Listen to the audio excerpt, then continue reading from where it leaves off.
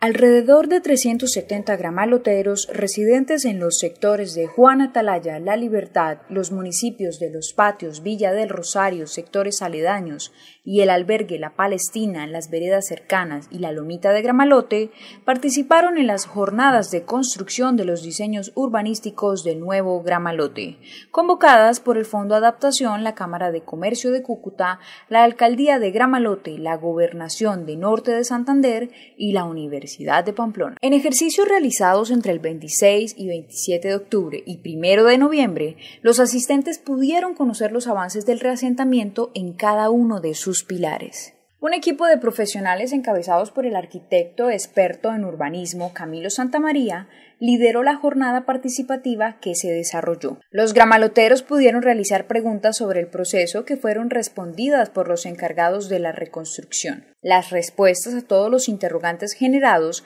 estarán disponibles en www.nuevogramalote.org.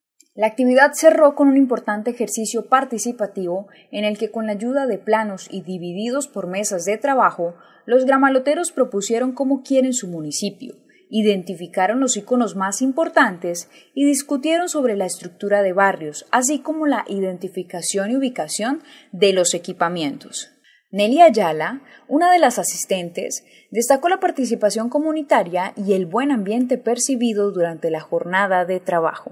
A ver, que esto es bastante bonito, importante. ¿Por qué? Porque vamos a reasentar, a reafirmar ideas, vamos a estar aclarar muchas dudas, despejar bastante la mente y algo así que yo vi pues algo hoy vi de pronto todos, todos en conclusión, unidos por una sola meta, cuál es el interés de tener el nuevo gramalote, de verdad que sí. Para la alcaldesa Sonia Rodríguez Torrente, la participación comunitaria ayuda a la generación de confianza en el proceso de reconstrucción. Empezamos ya a mirar sobre eh, papel cómo se están pensando los expertos y cómo la comunidad puede opinar, aportar, agregar, quitar.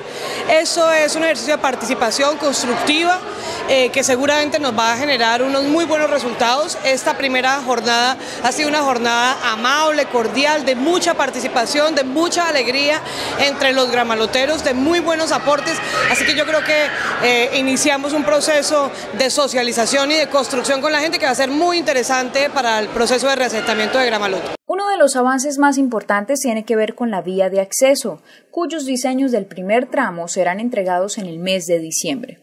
Según el ingeniero Javier Mutón del consorcio Miraflores, con la construcción de la vía se garantiza que el nuevo Gramalote conservará su dinámica, pues no será un pueblo terminal. Acá nosotros hemos mostrado en este evento, en nuestro consorcio Miraflores está adelantando el diseño de la vía de acceso esta vía eh, se encuentra, en este momento la dividimos en dos tramos, un tramo que va desde Puente Cuervo hasta la entrada del pueblo de Miraflores, a la nueva zona donde va a quedar el, lote, donde va a quedar el nuevo gramalote, y de ahí hacia la ruta de la Vía Lourdes. Es decir, que lo, que se está buscando es la integración del nuevo casco urbano de, Gramalote con el resto del departamento. En cuanto a servicios públicos, anunció que se avanza en los diseños y se ha identificado a la quebrada La Calderera como fuente de abastecimiento para el acueducto municipal se instalará el tanque y la planta de tratamiento en el nuevo municipio, de manera que funcione por gravedad sin necesidad de elementos mecánicos,